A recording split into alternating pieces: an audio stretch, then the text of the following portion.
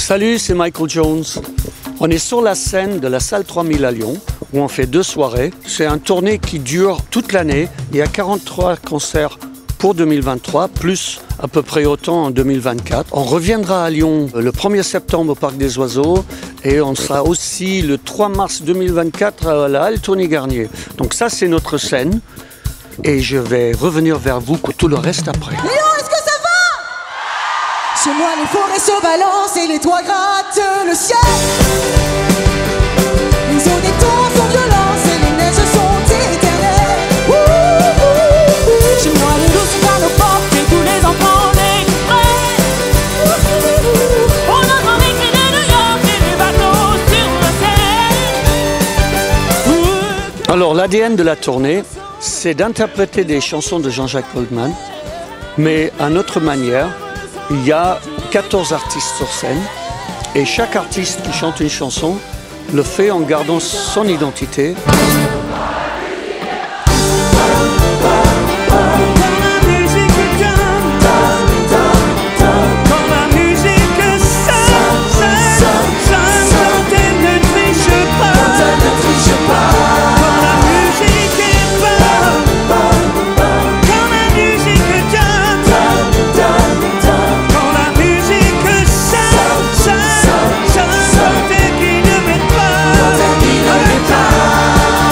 Alors je dirais que c'est un vrai spectacle, plus qu'un concert, avec 14 personnes sur scène, donc où qu'on soit placé, il y a toujours quelque chose à regarder il se passe toujours quelque chose sur scène. Et c'est un mélange de chansons de Jean-Jacques Goldman, évidemment, réinterprétées avec une grosse partie en une empreinte euh, rock celt. Et ensuite, l'autre particularité, c'est qu'on a à peu près trois générations sur scène. Il y a de la nouvelle scène française, des chanteurs de la nouvelle scène française, des anciens musiciens euh, de Jean-Jacques Goldman, dont Michael et Jackie et puis euh, entre deux. Et dans le public, c'est exactement la même chose. Il y a les trois générations et tout le monde connaît les chansons. Donc c'est un moment. Après, pour le public, je dirais que c'est un moment de fête. Essentiellement, ça danse, ça chante à peu près tout le, tout, le spectacle, avec une partie quand même euh, émotion. Ça restera comme une lumière qui tiendra chaud dans mes hivers. Un petit feu de toi qui s'éteint pas.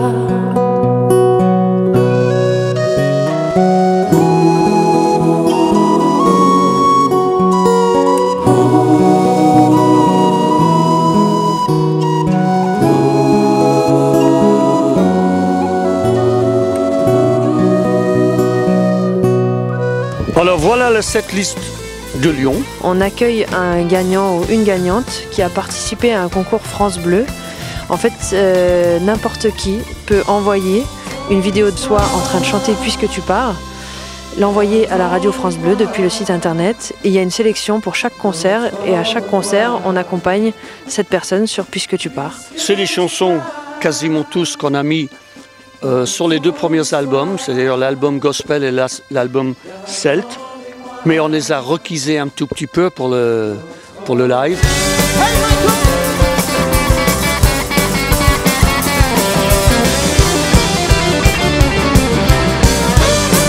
Alors le line-up, évidemment, basse batterie normale.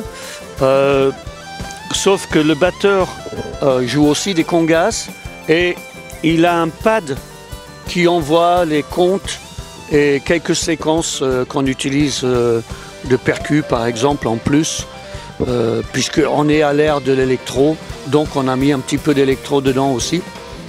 Là, c'est les guitares de Mary Cooper et de Toph Bosch, euh, basse, euh, guitare, mandoline aussi.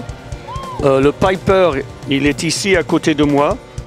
Et c'est pour ça que derrière mes baffles, on a mis des plexis pour pas que Jackie qui est au clavier et que Callum Stewart aux pipes et aux flûtes ne soient pas trop embêtés par l'arrière de mes baffles, qui sont des baffles bretons fabriqués par Thierry Labrousse, ça s'appelle Kelt.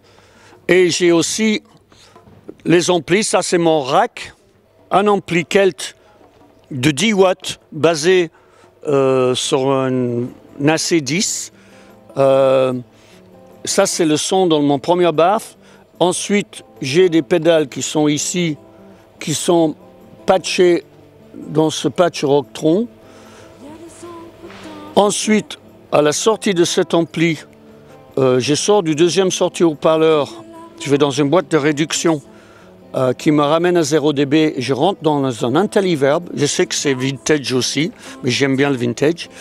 Et après, ça vient dans ce 2 fois 20 watts Mesa Boogie et ça va dans mon deuxième baffle Kelt. Cet ampli-là, c'est mon spare, dans le cas où euh, il arrive quelque chose. C'est toujours une possibilité. Donc euh, j'ai j'ai beaucoup de choses en spare aussi. Ça, c'est un, un HF analogue. Moi, je préfère le câble, mais pour cette tournée, euh, la scène, elle fait plus de 25 mètres, donc euh, le câble à 25 mètres, ça marche pas.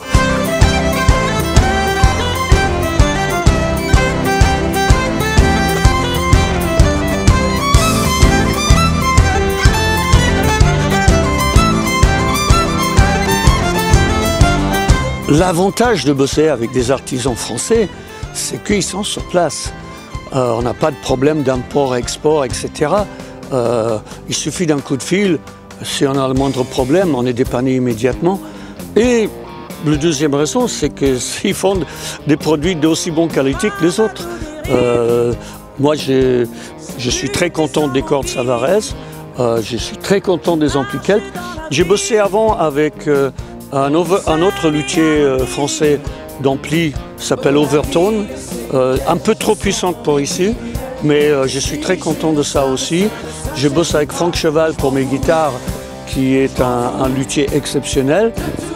Donc euh, oui, il y a juste certains produits comme les, les haut-parleurs, par exemple, elles sont anglaises. Parce que moi j'aime bien euh, ce son-là, j'aime bien le son des sélections. Donc moi j'utilise deux jeux de cordes suivant l'accordage de mes guitares électriques. Donc j'ai des 10-46 et du 11-49 je crois. Et j'utilise des phosphore bronze en acoustique avec deux tirants différents aussi. Alors bon, une des recettes c'est surtout d'avoir les effets genre délai, chorus, etc. séparés du son dry, comme dans une table de mixage. Euh, parce que j'ai remarqué que, par exemple, un haut-parleur ne peut parler qu'une, passer une seule fréquence à la fois. Donc si on a un délai, le délai quand il arrive, il tue le premier son. Qu'avec le système que j'ai, non. Euh, ensuite, euh, j'ai quelques pédales, donc quelques merveilles. Euh, une que j'adore, c'est le Wampler Brad Paisley. Alors ça, c'est comme un tube screamer, mais c'est génial. C'est un petit crunch léger euh, avec le twang du country. Le BB euh, ça c'est extraordinaire, l'OCD. Après, j'ai un trémolo Voodoo Lab. Je m'en sers pas beaucoup sur cette tournée. Un push-up pour booster euh, le solo.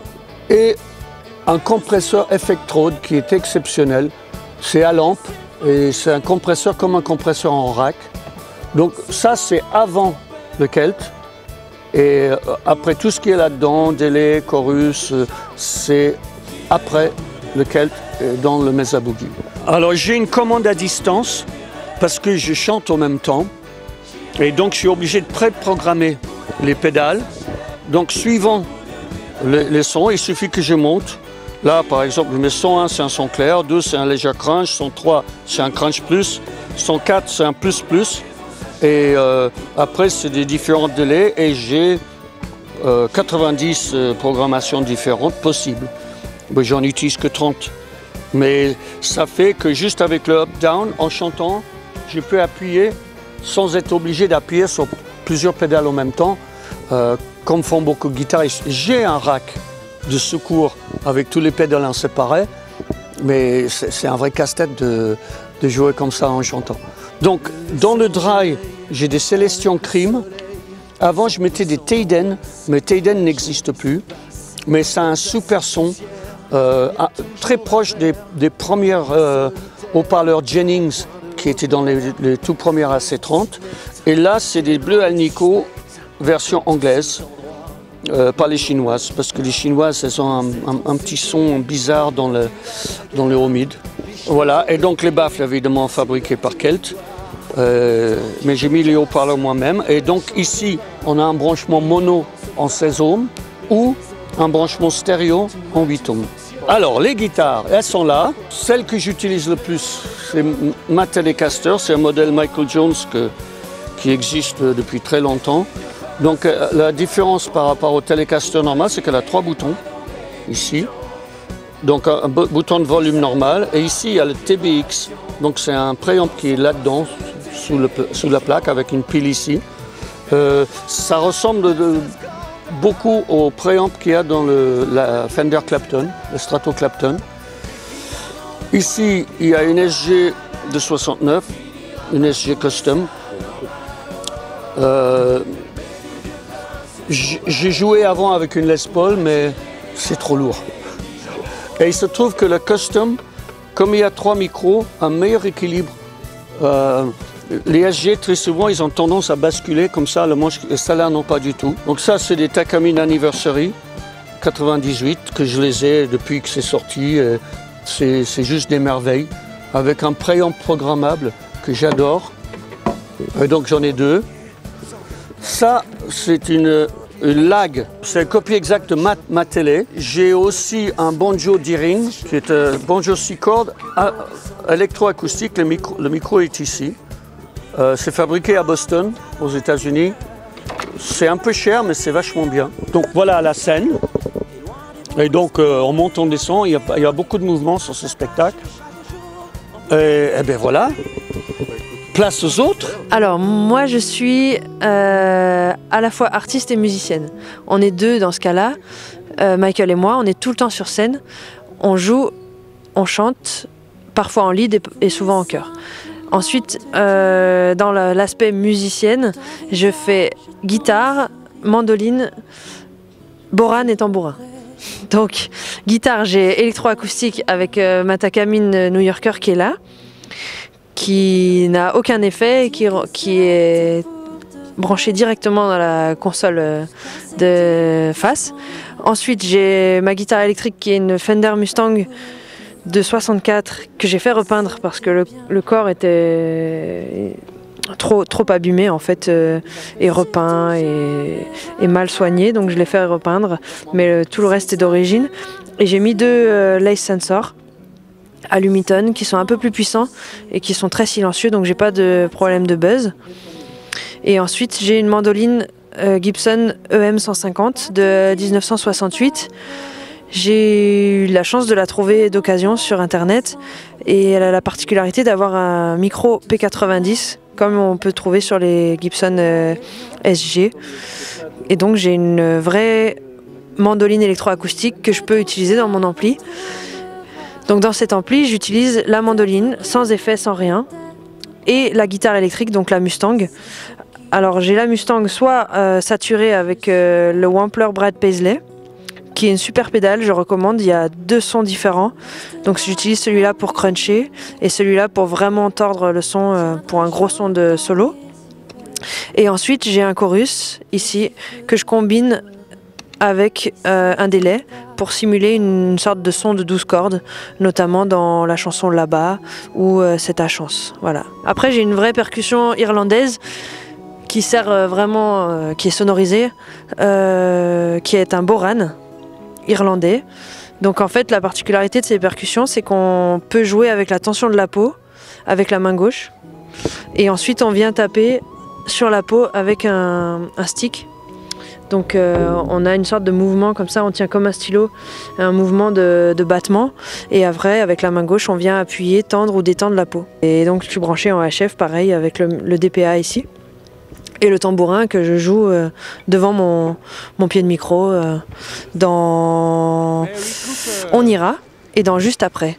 Alors pour les cordes, c'est un peu technique parce que comme j'ai un P90 sur la mandoline, il fallait que la corde ait un cœur en acier. Donc j'utilise les Argentine New Concert. Il y a une boucle comme euh, pour les mandolines traditionnelles pour la fixation, mais elles sont en stainless steel. Et donc euh, c'est du 1034. Ensuite, pour l'électrique, j'utilise, euh, il me semble comme Michael, hexagonal, il a copié. hexagonal 1046 Light qui tiennent très bien sur le- la longévité et la particularité de la Mustang qui a un, un vibrato qui pince les cordes ici. Donc on était un un peu inquiet avec euh, notre backliner de est-ce que ça tiendra dans le temps avec ce pincement-là? Et la réponse est oui. Je ne les ai toujours pas changés en 5 concerts. Et je n'ai rien cassé. Et ensuite, euh, l'acoustique, j'ai euh, phosphore bronze 1253. Voilà, c'est pareil, une super longévité. Alors après, je transpire pas beaucoup des mains, donc ça dépend des musiciens. Mais euh, moi, j'ai aucune oxydation, ça tient super longtemps. Et surtout, la brillance reste. Parce qu'on se retrouve vite avec des cordes euh, et un son mat au bout du 2-3e concert. Et moi, j'ai pas ce problème-là. Donc c'est top. Moi, je suis à la basse, alors j'ai pas trop, voilà, j'ai je fais pas trop mijoter les choses, j'ai pas trop d'ingrédients, euh, euh, voilà, j'ai que des, sons différents. Euh, en amplification, par exemple, je travaillais sur du Mesa Boogie, mais, mais voilà, il n'y a aucun réglage, je me sers de rien, c'est vraiment que de l'amplification. Il n'y a pas de grave, enfin, il n'y a aucun réglage, voilà, il n'y a pas d'ingrédients. J'amplifie le son que, que j'envoie avec les doigts, en fait. Par contre, je sélectionne les basses. Voilà. Euh, je peux faire un tour vite fait. Alors celle-ci, elle a une longue histoire. C'est ma préférée. C'est une jazz bass de 1963 qui appartenait au premier bassiste de Johnny Hallyday, qui a été repeinte par mon oncle. Enfin, c'est une histoire de famille. Moi, c'est voilà, c'est mon bébé ça. Voilà, basse familiale, elle est magnifique. Celle-ci, j'en rêvais. J'en ai toujours rêvé. Je me la suis achetée. Alors c'est une custom shop euh, de 51, une Telecaster basse. Donc je l'ai acheté. Euh, J'ai ici une précision, toujours Fender, de toute façon. Euh, US, c'est un- une série, euh, une série particulière, ils en ont fait que pendant un an. Donc elle est assez prisée et assez rare. Elle est de 2012, elle n'est pas vieille. Et j'ai gardé le meilleur pour la fin parce que, euh, au-delà de toutes les autres qui valent une fortune, au rapport qualité-prix, et même si c'est moche de parler du prix, c'est juste incroyable. Alors j'ai la chance, j'ai vraiment de la chance. Ils m'ont fait un modèle fretless, donc ils m'ont défrété euh, cette, euh, euh, jazz bass. Il y a deux micros Alnico dessus et, ça sonne mais, vraiment vraiment super bien. Mais ça fait l'unanimité. La cerise sur le gâteau. Elles sont toutes équipées en, for- en cordes Savarez. Euh, 45-105 et c'est modèle hexagonal. Alors j'avais commencé sur le modèle Focus et euh, j'ai récupéré du médium sur l'hexagonal qui ça correspond plus en fait. euh, c'est pas qu'elle soit mieux ou moins bien que les Focus, les hexagonales. C'est juste que euh, pour la musique qu'on fait avec Michael, elles correspondent plus. Donc je suis passé sur les hexagonales. Donc je suis tout est monté, y compris la fretless sur des Savarez hexagonales euh, 45-105. Voilà. Et je changerai pas parce que tout me va bien. Merci à toute l'équipe. Savarez.